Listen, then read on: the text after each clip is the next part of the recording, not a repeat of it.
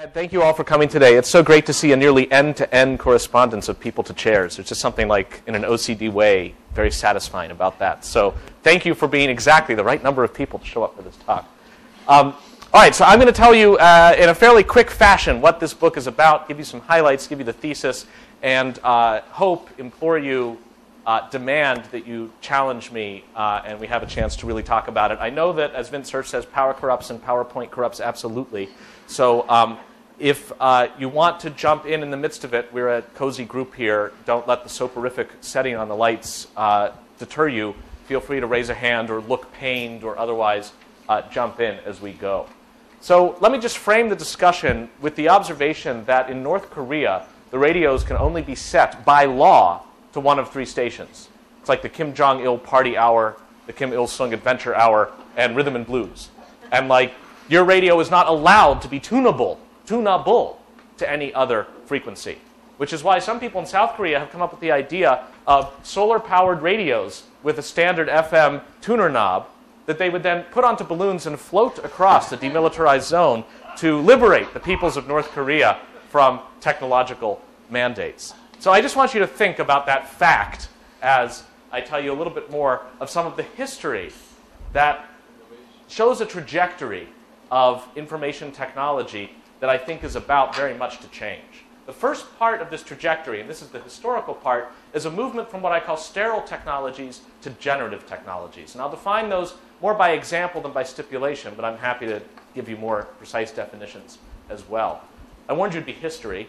This man is Herman Hollerith, and in 1880 he was a clerk for the United States Census Bureau responsible for helping to tally the number of people in the United States. In 1880, it took seven and a half years to do this, dangerously close to the 10 year interval at which the census was done. And he figured there had to be a better way. And inspired by these two things, on the left, the jacquard loom with holes that indicate where the weaving should go, and on the right, a simple train ticket where a hole punched can tell you both the privileges and limitations uh, of the holder of the ticket, he came up with the idea of this a simple card in which an interviewer for the census could punch holes in the card and indicate your nationality and your spouse's nationality. And then you could take the cards and put them through this Hollerith's automatic tabulation machine, which would have little bolts of electricity go through the holes, incrementing counters, one counter for each possible hole on that section of card. And before you know it, in fact, only two years in the 1890 census, you could tally the number of people in the US. He wasn't only a technical genius, he was an entrepreneur par excellence, instead of selling these machines to the government, he rented them at a cost of $50,000 per machine per year. Very smart guy. Now, in exchange, it was his responsibility from soup to nuts to make the thing work. If there was a problem in the count, what the government was renting from him was the count, and it was up to Hollerith to make the thing work. So, this is a very powerful technology but one held closely by Hollerith and rented first to the US government and later to other governments and to insurance companies and banks and railroads for heavy duty computing uses. Hollerith's company was eventually merged with International Business Machines, renamed to that, and after a brief detour into the sale of semi automatic rifles by Browning in the 1930s, IBM returned to its business roots. And this card is the direct ancestor of this card, the kind of card that you put into stacks like this with the diagonal lines so that if a frenemy of yours should scatter them across the land, you'd have a hope of putting them back in roughly the right order, and then feed them into machines like this, the IBM System 360. This is a machine that is the direct descendant of the automatic tabulating machine. And in its heyday, you rented its services rather than buying the machine. The services were provided by people working for IBM in the Hollerith model, and despite the fact then that it was a general purpose computer, depending on what was on those cards, it could do pretty much anything as a Turing machine. It was what I would call a sterile technology because it's not going to give birth to new and interesting things without the help of men in lab coats. This is a machine that won't give you surprises. Third parties cannot easily code upon it. In fact, second parties, the customer, can't easily code upon it. It also has this kind of feeling of like, if you come near me, I will kill you. It's like one of these warranty void of screw removed devices that doesn't lend itself to whimsical experimentation. Serious machine for a serious purpose. Here's another technology from the 20th century that, in my view, is also sterile, even though it flips some of the characteristics of the System 360. The Friden Flexowriter was like a royal typewriter, but along the side it had this space where you could thread a tape, and as you typed, not only would it appear here, but holes would appear in the tape. You could then take the tape, put it back through, and like a player piano, it would type up here whatever was on the tape. It also meant that with scissors and glue, you could cut and paste your way to uh, a mail merge more easily than you could with Microsoft Word. this machine is come near me, right? This is meant for secretaries, for non techies to be able to use. In that sense, it's an appliance. But it's sterile because it's not a general purpose computer.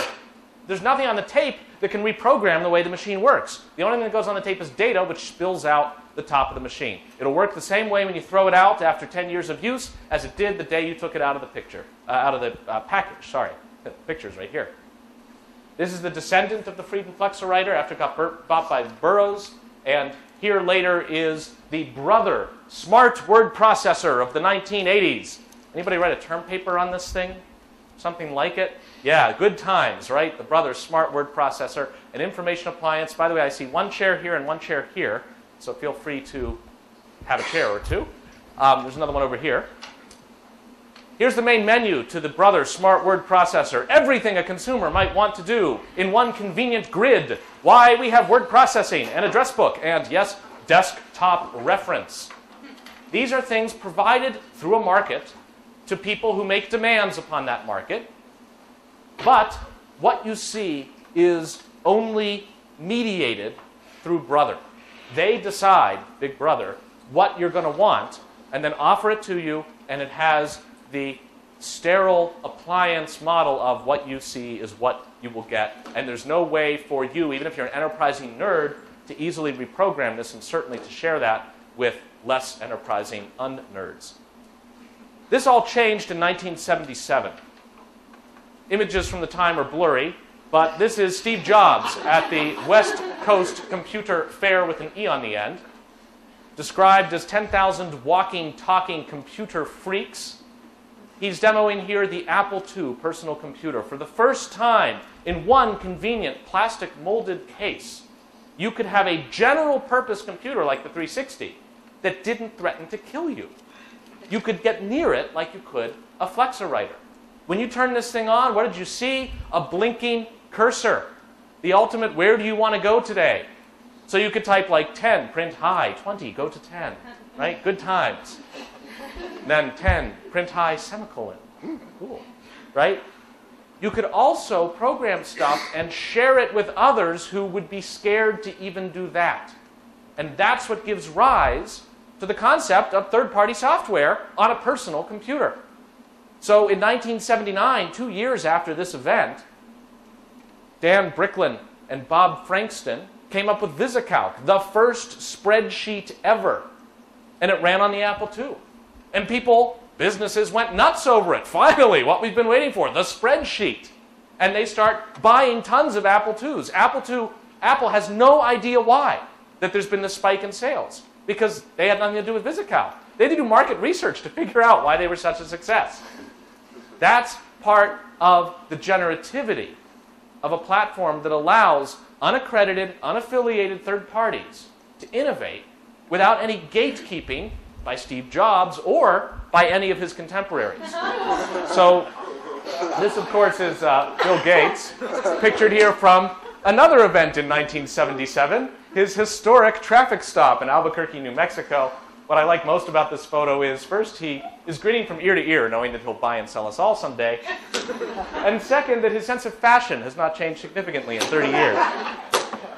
It is the smiley, slightly non law abiding, asocial, poorly dressed nerd that is the engine of the generative movement and that brings us the information revolution. And it's people like Steve Jobs and Bill Gates who brought us and then brought us the software upon machines like these the general purpose personal computer. What are they going to do with it? We have no idea. Just set it out there and they'll come up with something. This machine dates from about 1992 93. How do we know? Because of the 66 light in the corner. What happens if you push the button next to the 66 light? Turbo? Turbo, yes. the hamsters run twice as fast on the wheels inside the machine. Good question why shouldn't they always run twice as fast? I guess it could affect your Prince of Persia game or something. Um, I can't help but tell you that they've actually now invented a hamster powered paper shredder. So you can put the paper in the top, and the hamster runs here on the wheel, and uh, then it can live in the paper below. So it just shows you that reuse is a viable alternative to recycling. But we digress. The main function of that PC from 92, 93 has not changed in the intervening years. And that is you hand it code, it runs the code. Nobody has anything to block or intervene that feature. And if we want to share code among us, great, no problem. That's the off the shelf software market. That's the shareware and freeware market. That's ultimately the free software movement expressing itself even through PCs and consumers. That's a movement from sterile to generative. Now, there's this another parallel movement from sterile to generative in the network space. This is CompuServe, circa 1995, I'd say. And look at the menu. Just like the Brother Smart Word Processor. You sign up for CompuServe, you're not just getting on ramp to network connectivity, you are getting what they hope is what you want, mediated through market forces. They have competitors like AOL and the source. And then they have a committee that sits down. What content shall we invest in and groom and package and come up with cute icons for and big buttons so you can just elbow the mouse over to the right place and click? And then what you see when you click sports, CompuServe decides, again, trying to help you, but it's only CompuServe that mediates what's going to happen on this service. Now that changes when a network designed with utterly different precepts and for a different audience bursts truly unexpectedly into the mainstream. These are three of the founders of the internet uh, Jon Postel, Steve Crocker, and Vint Cerf, pictured for their 25th anniversary Newsweek retrospective. Um, they're showing, uh, by the way, they were classmates together, the same high school in Van Nuys, California. Um, we might have had like the French club or the debate club in our high schools. They had to like, let's build a global network club. And whoever the refreshment chair was, congratulations. Um, they're showing you can basically build a network out of just about anything. And um, I, I, confirmed with Vint last week in Washington. Uh, I was puzzled because their network doesn't work. It goes from his ear to his ear and his mouth to his mouth.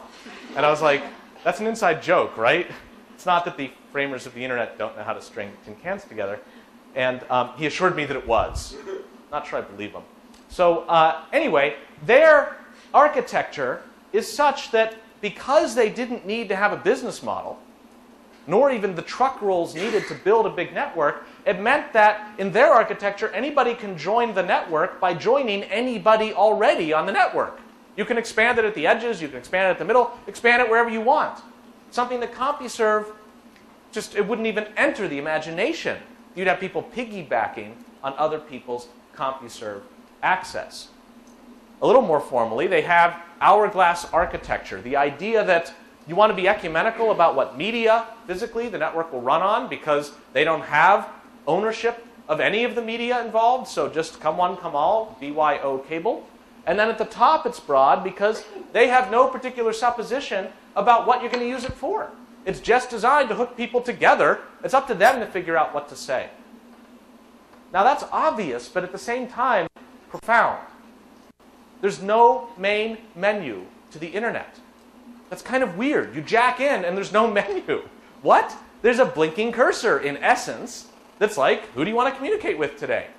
So, a network with no plan for content, with no CEO, with no business model, ends up having far more content than what the firm mediated polyarchical model would produce using rational investment. This, I think, is a real surprise. Another feature, of course, of uh, the network uh, in the internet model is don't keep revising it to make more features, right? We don't want Microsoft Word version 8. It looks like you're writing a ransom note. Would you like help with that paperclip? It's just like, no, move the bits to where they're going. Let the people more or less be the network. Pass things like a bucket brigade rather than hiring an external party to run it from one end of the room to the other. And more or less, you can get it working. Best efforts routing, otherwise known as send it and pray, for every packet, an adventure. That's crazy. And that's why, for many years, internet architects have said that their mascot, if they had one, would be the bumblebee. the fur to wingspan ratio of the Bumblebee is clearly far too large for it to really fly. And similarly, IBM, as late as 92, was saying you couldn't possibly build a corporate network out of TCP/IP. You need the IBM proprietary solution to work. And yet, somehow, the bee flies, and the network works and scales. Probably say the same about 802.11 wireless functionality. I'm actually pleased to tell you that not long ago they figured out how bees fly. Enough government investment will teach you anything. Um, we don't have time today, but they basically flap their wings very quickly.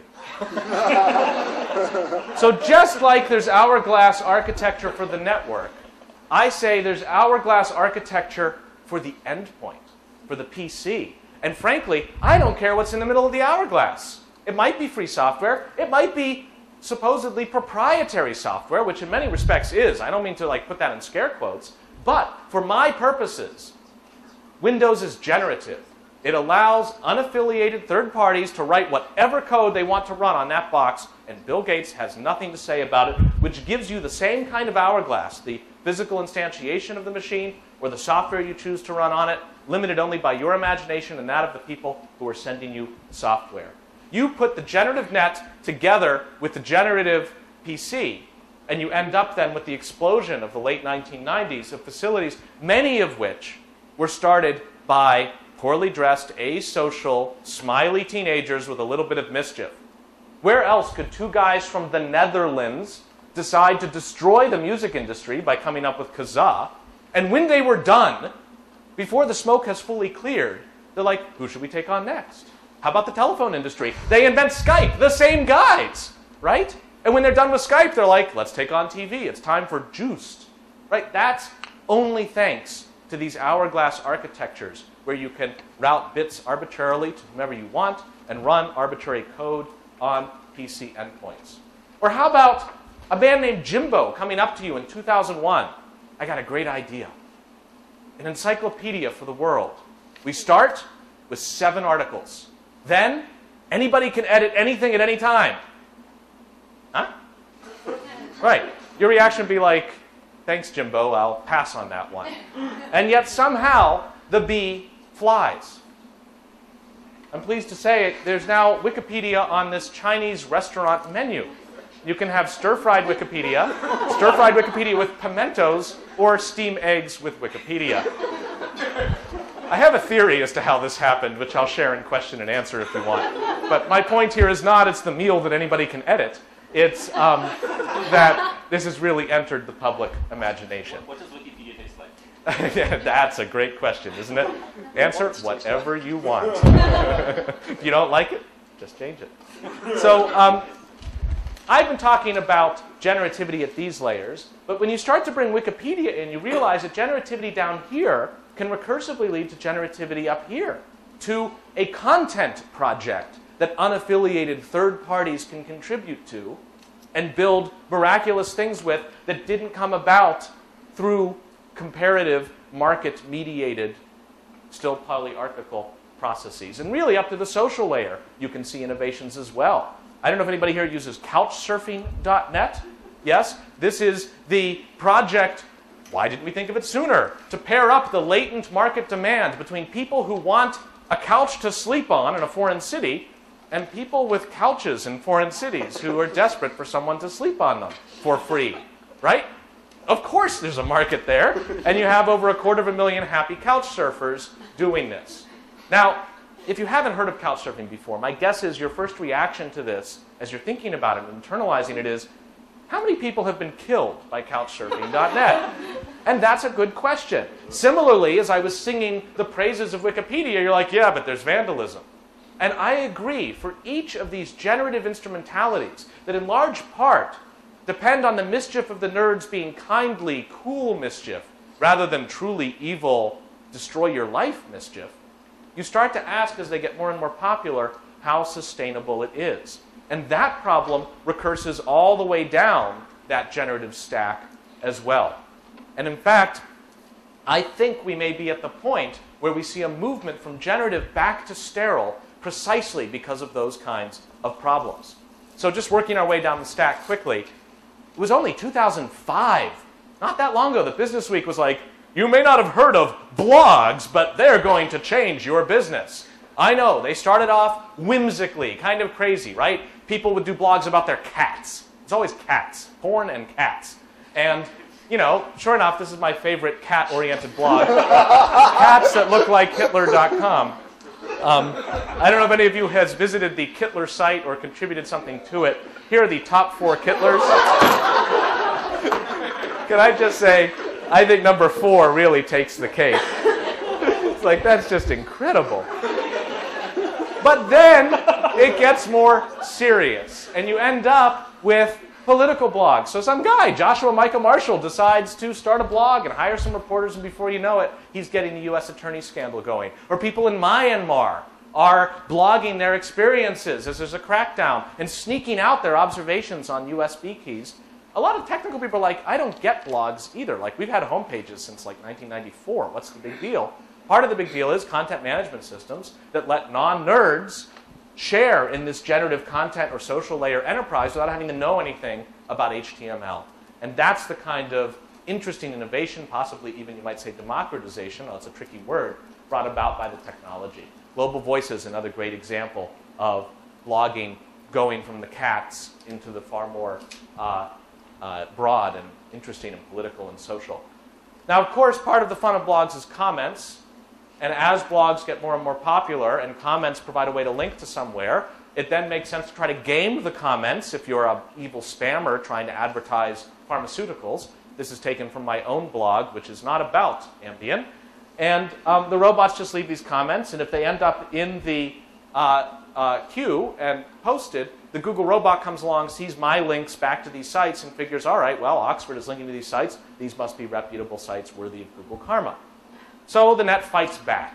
How do they fight back? In part through the CAPTCHA, the squishy green word that a computer can generate, but paradoxically is a one way function, cannot figure out what it is if it wasn't the one to generate it. I put this on my blog and I say, I welcome all comers, but at least be a person. You have to be a human to post on my blog. That's the kind of standards I have. And so type this word in, and then you can post on my blog. So then the spammers get clever as Luis von Ahn at uh, CMU has pointed out in some spectacular research that earned him a Genius Grant, I think, but he got the Genius Grant. That's my inference that this is what did it. Um, for one thing, they start out with a distributed network hiring humans to solve CAPTCHAs all day long. Just sit there and solve CAPTCHAs, and as you solve them, they're going back to the respective blogs to provide answers for the robot to leave the spammy thing. But it still costs 250 an hour. That's too much. The spammers get even more clever. They devise applications and websites with free porn. You put up a website with free porn, instantly people apparate to visit the website. Before you give them the picture, you say you have to type the word that you see. Where do you get the image comprising the word that they see? From my blog, where they're about to leave a scammy comment. They put the image over here, the person types the answer, they take the answer, put it back on my blog, leave the comment. Everybody's happy. They see their porn, they get their comment, and the spammers win. Yes? Have you seen documented cases of this? Documented cases of this. The only documented cases I have of this in the footnotes of the book are one, Luis von Ahn telling me so, and two, a BBC story at bbc.co.uk from which this screen snapshot was taken of the application that the BBC claims that they saw. That this is a uh, client side app that you strip the person, and as you type each CAPTCHA, you get to strip them. Um, that's the best documentation I have of it. Yeah. Go ahead. I have been hearing this anecdotally for years, but Correct. And when I was doing the book, I followed up with Luis. It was like, what's the deal here? And that's as solid as it is. And, you know, there you go. You got to admit, though, if there were a Nobel Prize for evil, right? Like, I know there was Pol Pot, but this would be like a runner up in the sheer genius category. And it's one of those things with, I'm not convinced that Luis isn't the person who brought it about. Because by speculating that you can do it, you know, you have one of those ideas like, there ought to be an internet service that delivers breath mints to you, you know, for free. And it's like, next week, Kozmo comes about. It's like, who knew? So, uh, yeah. So, anyway, that kind of abuse I see coming about at the technical layer, too.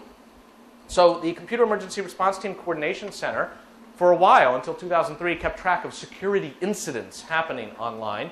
You'll see here that the uh, thing goes exponential about the time that many uh, people, including Americans, are going online with very powerful computers they get at Walmart, leave them on 24 7, and connect them to broadband so that should they get infected by uh, some form of malware, there's much more harm they can do as they seek out other machines or do whatever it is the malware instructs them to do. And the fact is, sorry, Ed. That's a good question. I don't know if the exponential part is literally the number of people simply going online, or if it's disproportionately even a higher hockey stick, um, thinking that per capita, you know, the factors I'm talking about. Yeah, and again, it ends at 2003, so it's even harder to know.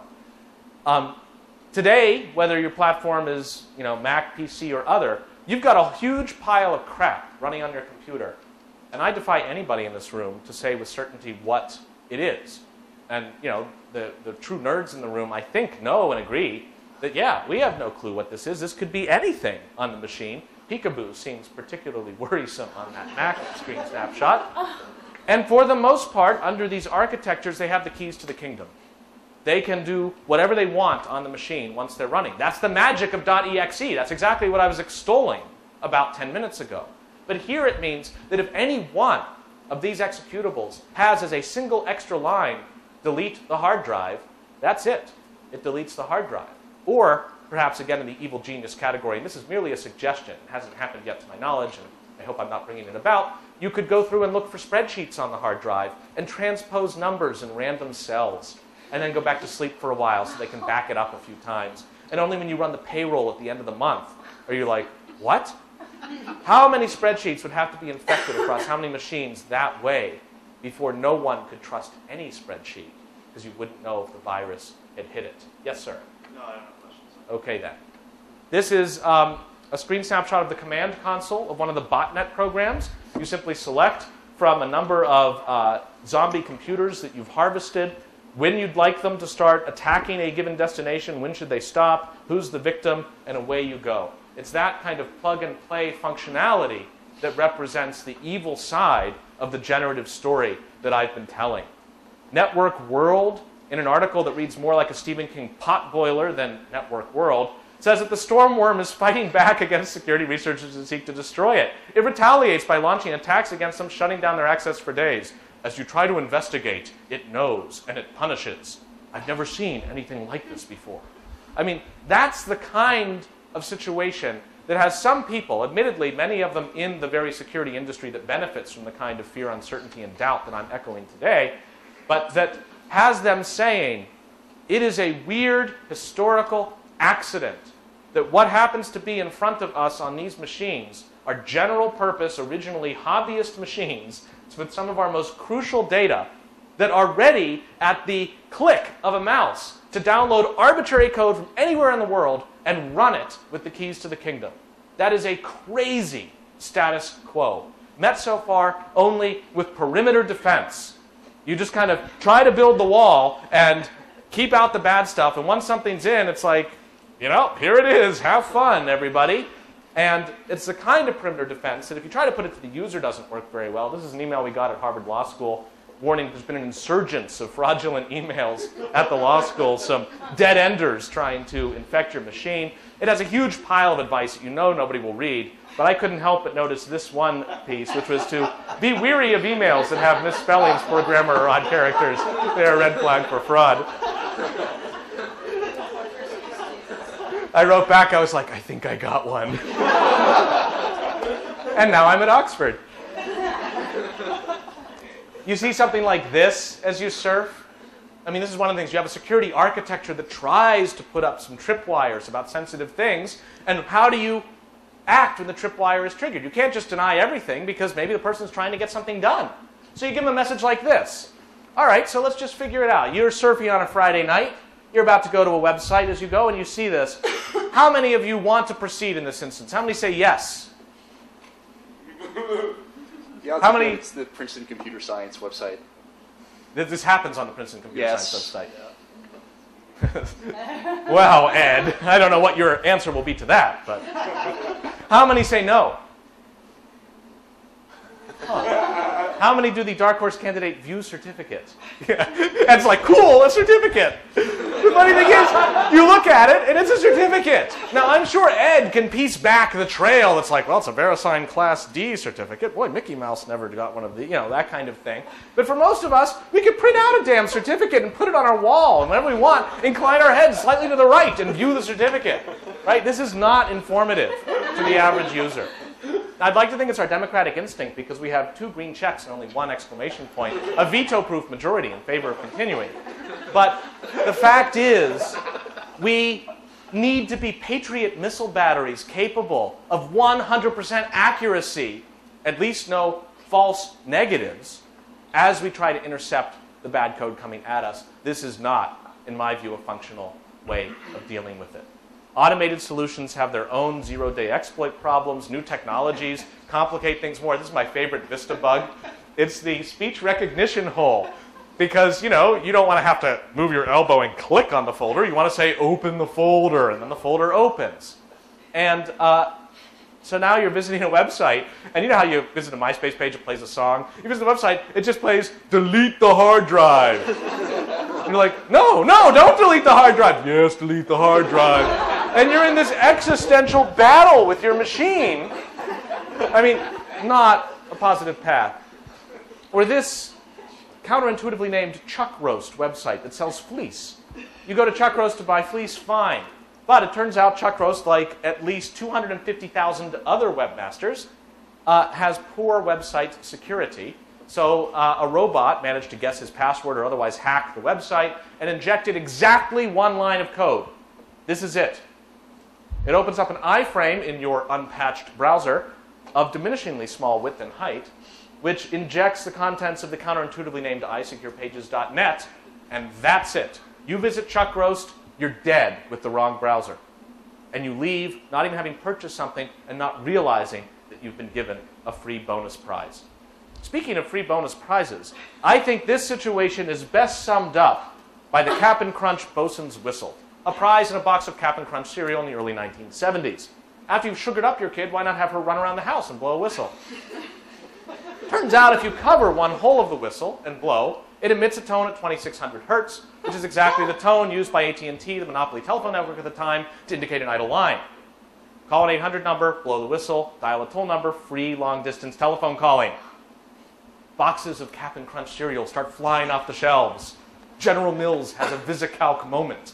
Right? There's a new third party app for our cereal. Who knew? AT&T as a monopolist could fix this problem. What did they do? They started doing some elementary security and they started implementing out of band signaling so that there was no sound you could utter as a consumer to instruct the network. Sound just got relayed to the other side. They fixed the problem. The internet is still at exactly this space. The very channels that carry our emails and our web clicks and our files and our music and our chats are also the conduits that carry .exe. And we wouldn't want it any other way. Or would we? The question is, how bad does it have to get before we have to revisit the fundamental architecture that AT&T changed in the 1970s? The same is true, I claim, for internet architecture itself distributed routing so that you advertise what you're near as one of the routers in the network and people just listen to that advertisement and like in this case a an isp in pakistan was asked to block youtube for pakistanis. It took a technical shortcut to do so by advertising itself to the world as you guys want youtube? I'm sitting right on top of youtube. Give me your packets yearning for cats flushing toilets and boy are you going to be happy. They take the packets they throw it away and this starts propagating throughout the entire network. Now, the North American Network Operators Group, NANOG, got on it, and within a couple hours, they'd figured out how to restore access to YouTube around the world. Imagine if just a handful of ISPs in a coordinated effort put bad routing information for 20,000 sites out at D Day. You'd have a very different reaction. Richard Clarke wrote a uh, tome, The National Strategy to Secure Cyberspace, in February of 03 very long document, half of which was, You're all going to die, Digital Pearl Harbor. The second half of which was, We need a committee to fix this. Let's have an IT information sharing and analysis center So there's like Steve Case or Jack Bauer or somebody, and they talk to each other. And it's like, is the internet down? I think it is. Can we tell anybody? No, the internet's down. And like, that's it. it's because the thing is distributed, right? What are you going to do? I sympathize. But this then is a real problem that, if not solved, I claim, will lead from a world that is happily mixed right now between the generative and the sterile. There's both floating around, and the world is better for it. I'm not against sterile. But it's a world that will cause us to reject, most of us, the generative at the heart of it. It means the end of the PC. Either by locking down the PC the way it's already locked down in most corporate environments or in cyber cafes, so you can't install the flying toaster screensaver or Skype when you want to. You need permission from somebody to do it, and you have to provide a case for it, turning it into an IBM System 360. Or you simply start replicating most of your functions through information appliances like Sky Plus or TiVo or BlackBerry or many mobile phones. Right? Here's the singular mobile phone. Does this look familiar? Right? It's back. The Kindle, the iPod pictured here in its native Naugahyde coating, the iPhone. What a great example of the iPhone.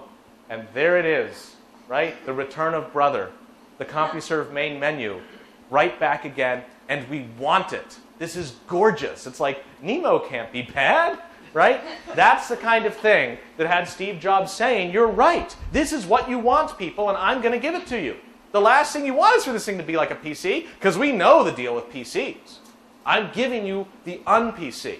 And when people around these parts started hacking it and jailbreaking it and all that kind of thing, one, Apple threatens to brick it. Two, they say, all right, we'll think about a software development kit. We'll think about making a radio that maybe gives you a couple extra stations other than the Steve Jobs comedy hour. We'll talk a little bit more about that in a second.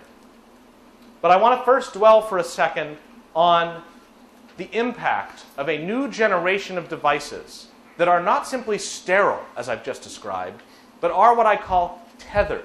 And by that I mean third parties can't change them, but the vendor can anytime after the point of sale because they're internet aware and they can be reprogrammed at a distance uniquely by the vendor.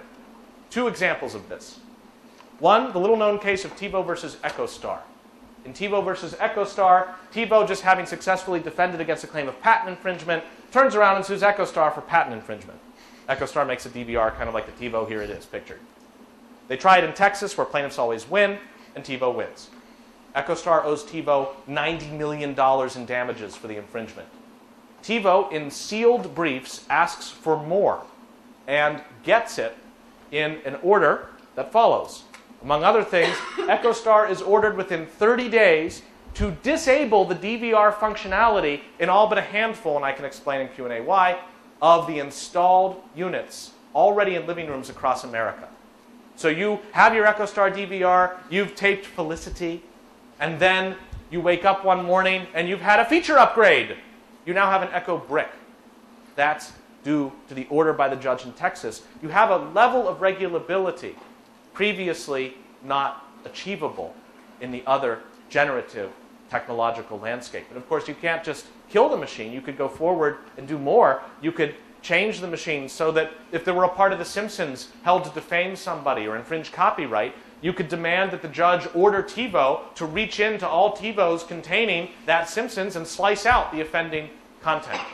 There's no reason you couldn't do that under American law, and that's the kind of platform that these things are offering. Another example, another little known case. I don't know how many people have OnStar in their car. It provides GPS functionality as well as a microphone you speak into here in the rearview mirror. So you run into trouble, you press the Swiss flag, and you're like, I've fallen and I can't get up. And then this lady is like, Don't worry, we know where you are, we're sending help.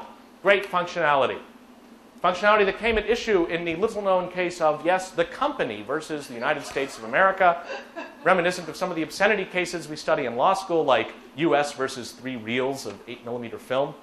It's like if the US can't win that case, we have no business being in foreign wars. so the company versus the United States of America arises when the FBI asks an anonymous car service provider company to reprogram the OnStar system at a distance to flip on the microphone at all times inside the car containing people of interest. They get in the car, they turn it on, they drive around. Everything they say relayed to the FBI without even the need of one of those trucks with the people inside with donuts and the alligator clips and all that kind of stuff. Just plug and play functionality. They do it. They realize that this could be a threat to their business model if word gets out, and they threaten a secret. Uh, they file a secret case, which is why it's a company versus the United States. They lose in the district court an opinion under seal. They appeal to the Ninth Circuit, and they win on the thinnest basis possible. The Ninth Circuit says that because the way the FBI asked them to do it meant that if the bad people in the car hit the help button, it wouldn't go to the lady, it would only go to the FBI, who presumably would not help. That is not cool. So if you could rework it so that at all times it goes to the FBI except when you press the help button, at which point it goes to both, that would be fine. That's now the state of the law, at least the law that isn't secret that we know of in the country.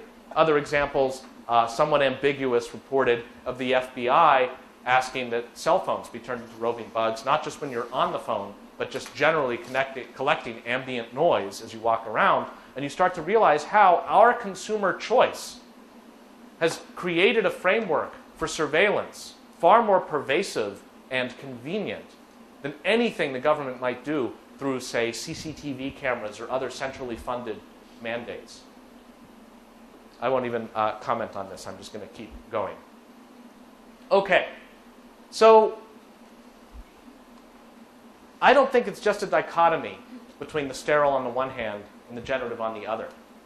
I think we're entering a world where Steve Jobs realizes that generative has good business possibilities. It's the same reason Bill Gates made Windows as open as it is. But also sees that if you can let enough energy in to get the platform off the ground and then close the door behind, maybe you get the best of both worlds. Even with a closed iPod, $3 billion a year market, $1 billion a year market in iPod accessories, such as this lovely dancing dog that you can play while you have your iPod. 1 billion a year in stuff like this. In fact, the British just launched a destroyer which has iPod docks and surround sound built in. Cost of the destroyer, $1 billion, doubling the market in iPod accessories in only one year. so Steve Jobs comes along and says, All right, we've heard what you want, people. We're going to get a software development kit. Let the generativity flow. Third party nerds can write stuff. You write software for it, though? How do you transfer it? It must go through the iPhone Apps Store, where they take a cut of whatever you're getting. And if you get it for free, they take a cut of free, which is nothing. But here's a grainy visage. Whenever it's Steve Jobs, it gets grainy. I don't understand that. Um, as he presents this a couple weeks ago, he says, Are there limitations? Absolutely. He gets to decide what appears in the store and what doesn't. Malicious stuff, gone. Illegal stuff, gone. Privacy invasion, gone. Porn, gone. Bandwidth hog, gone. And I love this catch all category of unforeseen. we wouldn't want any surprises in the iPhone store. So if there's anything we haven't mentioned here that's a problem, gone. That's the kind of control that turning what had been a product into a service facilitates. And that's why when a very untechy colleague said to me, as I was talking about some of the worries of generative systems, he said, You know, we license our cosmetologists. Before somebody can shampoo your hair, they need a license from the state. And we're still under the illusion that we live in a free world. Why shouldn't we license our coders, who are far more powerful and can affect that many more people? And I was like, huh. I mean, it's a terrible idea, right? It's the worst idea ever. And yet, I wasn't sure what to tell him. And then I realized, as I say the Matrix, Sergeant, your men are already dead. We already have a licensing scheme, not run by the Board of Cosmetology, but by a new set of intermediaries who provide new platforms that are the Apple II and Windows machines of our day. The poorly dressed, smiley, asocial nerds are not coding for Windows or Mac or Linux anymore, in my view. They're coding for the Facebook platform. They don't read the fine print, it's just fun. Facebook or the parallel platforms like Google Mashups is where, it at, where it's at. So something like Scrabulous takes off when it gets coded for Facebook. What does Facebook say about its use of the platform to a developer? Well, at any time, they can immediately kill your app, at which point you promise to disgorge anything you've learned from the Facebook entries that your app touches. They reserve the right to charge a fee at any time for using the platform. and calculate it however they want. You have the right to quit if you don't like the fee. That's so generous of them. They don't just skip you with a bill that you have to pay for an undetermined amount for what you've done. It's not like cell phone minutes kind of thing. But it's like an all-you-can-eat buffet where it's like they set the price later, and if you don't like it, you can regurgitate everything you've eaten. You represent warrant and covenant to us that your content will not be obscene, defamatory, fraudulent, or otherwise illegal in any jurisdiction. So if you're planning to like insult the Thai King app, better not put it on Facebook. Can you imagine if these were the Windows developers' terms of service? Can you imagine if that was the Windows developer terms of service? Bill Gates is like, Intuit, you're doing really well with Quicken. How about a million dollars, you know? And we'll be back sometime later for more. Thanks a lot. Right? Kind of crazy. But also beneficial. When the Secret Crush, wildly popular Facebook app that no one admits to installing, was found to be installing adware Within several days, Facebook's like, that's it, you're out of here. Right? This is a controlled platform in a good way. All of the generative problems I was talking about before, much more tackleable on these kinds of platforms. And of course, other regulators can then get in, not just for malicious code. Scrabulous is seen to be infringing Hasbro's trademarks. Hasbro then chases after these Indian brothers. They tell Hasbro to go to hell. We're in India. You can't reach us. They literally said that. And um, the lawyers then say, great, we're going to Facebook. Zuckerberg, take it down. Facebook's like, uh, right? They don't know what to do. Still spinning the wheel on that one. Even privacy fanatics and academics, not necessarily an overlapping group, um, note that when you add an app, right, we have no idea what this crap means. We just sometimes randomly uncheck the boxes if we find an application to be skeevy. But you put it in, and they say, you know, so many of these applications, like the throw a chair at someone app, don't need access to your data. But when you add them as an app, you usually give them access to all your data. That's a huge privacy concern. What do they recommend?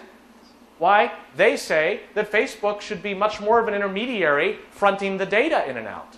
So that Facebook is that much more crucial to its own platform and harder to separate from the applications created. All right, let me just say a few words about what I think we should do about it and then open it up to discussion. So far, what I've talked about is a generative pattern of stuff that starts in a backwater that seems kind of nerdy, stupid, and cat like, but then ends up with great success, gets great usage, and then because of the usage, you end up with people saying, wait a minute, we now have something to lose. We need some form of enclosure. My hope is to find a way to use the pattern to save the pattern. And I have a few thoughts on this that might even be borrowing from some of the tactics, technologies, and social tactics related, implemented at one layer, helping at another. You know, Wikipedia has managed to survive its first round of success in a vandalism. I don't know if it will forever, but so far it has. And I think we can borrow a little bit from Wikipedia's functionality that is actually represented to me by a crazy um, Dutch traffic engineer named Hans Monderman who came up with Verkeersbordvrij, or unsafe is safe. And his idea was to get rid of nearly all traffic laws and signs in a given neighborhood. And his counterintuitive uh, uh, prediction was that people would actually drive more carefully and the accident rate would go down if they were asked to see each other as humans that might hurt each other rather than people on their way to work that have rules to follow and might or might not break them. This is uh, his vision implemented in South Kensington and London. It's been a staggering success. Will it work in Mexico City? Probably not. It relies on norms as well as on certain technologies and architectures. But if you can get them in the right combination, this can be far more powerful. And Wikipedia has this. You read the global warming article, it's pretty damn good. And it has ways of easily reverting vandalism so it's not tragic if something should go wrong. It'd be great to have a similar system if your spreadsheets should find their numbers transposed. And it has discussion behind the scenes. So that people can actually, in an incredibly pre postmodern way, ascribe to meta principles like a neutral point of view, and then argue with each other over what's right and wrong with some hope of persuading each other. Like, how incredibly naive. And yet, this is what leads to a core of Wikipedians, all of whom feel ownership in the project and see it as a personal affront when something's vandalized and want to fix it or create robots to fix it speaking of robots, we have just the hints, glimmerings of trying to express social preference through protocol. This particular protocol, not approved by any standards organization, is a way to indicate for your website whether you would like crawlers like Google or Yahoo to investigate certain directories. These directories are publicly available. You just don't want them searchable. Google, Microsoft, Yahoo all respect requests by websites not to have certain directories crawled. This has eliminated 99%, not 100, but 99% of the conflicts that otherwise would have come up. And in the absence of a technical architecture to express your preference, the judges would have to decide it one way or the other with a default rule making very few people happy. That's where we're at on Google Books right now because there's no easy way to tag a book as to whether or not you want it part of the Google Books project. It's where we're at on privacy right now. So here's this website that makes fun of old Olan Mills photographs. And um, this is like backdrop number four bucolic meadow with split rail. Is that an animal carcass behind her? And you're like, yeah, you know, I think that is a dead cow right behind her. That's kind of weird. And so there's bunches of photos, each funnier than the next. And then you encounter one of them. I don't know what it said, but the owner asked the snarky person, Would you mind? Like, I'd prefer not to have that. And the person said yes. Right now, when we encounter photos and stuff on the net, it's just disaggregated data. There's no social sense behind it. If we had a protocol to indicate what you'd like to have happen to your photo or whether you'd like to be asked before certain things happen, the way the Creative Commons was invented to help express what your intellectual property assertions are with respect to it or preferences, you give people a chance to do the right thing. Who knows if all of them will? Not all of them on Wikipedia do. There are vandals. But have an architecture that lets people make that choice. Right now, we are deprived of it because we don't know what this data is, so we just use it pell mell. These are the kinds of solutions I'd like to see that would facilitate blunting the worst aspects of these technologies so long as there are shared values and people willing to uphold them. I could easily see having some RFID or other indicator as to how you'd like to see yourself portrayed if there were enough of a technical architecture to let people easily respect others' wishes in many cases, people might well choose to use it. Um, StopBadware.org is another example of trying to harness the goodwill of the crowd to do certain things. It has a couple instantiations. It's a project of Harvard and Oxford funded by Sun, Google, Lenovo, and HP. And um, one example is to let people download basically spyware equivalent code that gathers the vital signs of their machines and relays them back and basically can try to say, how happy is the herd right now? I've encountered a new software that's going to let my hamster dance. It just wants to install an ActiveX control. Do you want to do it? And I can say, well, how many in the herd have installed it before? How many who describe themselves as experts have installed it versus people who don't know what they're doing? Hmm, maybe I should pass on the Jessica Simpson screensaver. Enough of a dashboard to let neophytes like four wheel drive or two wheel drive make certain basic decisions according to their risk preference. Another instantiation of this app under development among us is to chart internet filtering. We took $5 million from the MacArthur Foundation to manually check internet filtering in 50 states around the world. It just came out as access denied. Buy the book, see the movie. But what we really want to do is have a functionality so people, as they're surfing, if they can't get to a website, can say, Why can't I get there from here? And the act of asking the question helps answer it. Because enough people saying, Why can't I get there from here? with the network topology tells you everybody in China can't get to X, and everybody else is not complaining wow, maybe we can infer something about this site's treatment in China. And then you can go to a site called Am I Blocked or Not? And it will tell you the reports as they come in, and you can contribute your own view as to whether or not you can see the site. Those are the kinds of solutions that we want to see. Another example of it is the clearinghouse of malware URLs. Google sends a robot around the web looking for sites like the Chuck Roast website that have the drive by downloads, nearly 300,000 of them found. When they find them, they add them to Stop Badware's list of Santa's bad sites. But in addition, they end up in the Google search engine warning people away. So my good colleague Yochai Benkler wrote The Wealth of Networks and put it into a wiki. Somebody added the wiki to include a virus. The Googlebot found the virus. And then you search for The Wealth of Networks and you get this extra note from Google that says it may harm your computer. If you're feeling brave and you click on it anyway, instead of taking you to the site, it takes you to this page that says, no, really, you'd be an idiot to go to the site, have a cream soda, do anything but go to the site. If you're crazy, you can highlight the link and paste it in, but we take no responsibility. Suddenly, Chuck Roast's incentives are inverted. And the man who just wanted to sell me a fleece when I was trying to tell him that his site had been hacked now is calling me on my cell phone saying, What do I need to do to restore the 90% of my traffic that just got killed? Now, you can see all sorts of problems with this, but in brief, and there's just the last three slides. Internet starts out and PC in basically this zone with hierarchy, a single system on the one hand, or many competing systems on the other, top down meaning sterile, or bottom up meaning generative in my lexicon. And internet is polyarchical, both competing with CompuServe and the source in AOL, and allowing contributions from all corners. The only part of the internet that's hierarchical is that narrow middle of the hourglass. But most of the rest, the bottom and the top, over here in the bottom up polyarchy category. You then end up with problems that emerge, the generative pattern problems. Our first instinct, especially as lawyers and regulators, is uh oh, we need to flee north. We need to either go into top down polyarchy, which is the market, Norton, McAfee, uh, McAfee, whoever, compete in your polyarchical way to solve my problem, but I want your solution cash and carry.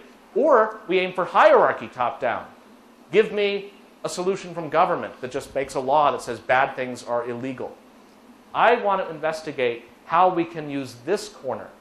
This to me is bottom up, still generative, but to treat certain problems coming with certain agreements, whether social norms or things like Stop Badware, where we have a reference list with the 800 pound gorilla like Google to try to fix the problems. This, I say, is the best first stop before recourse to the top down world because it preserves the generative infrastructure that I claim is so good. Now, there are problems with this corner? You bet. There are problems it can't solve, and there are problems that have to do with government up here has, in a liberal rule of law environment, certain limitations on its own behavior that may not apply down here. That's why Chuck Roast has told me that I created the Gitmo of the internet. He doesn't know how to do an appeal. He doesn't know where he's supposed to go. He's losing business. There's some .org that has condemned him rather than a .gov, and it's very scary to him, and I totally credit it. And we have to figure out how to reconcile some of the values from up here into projects that go down there.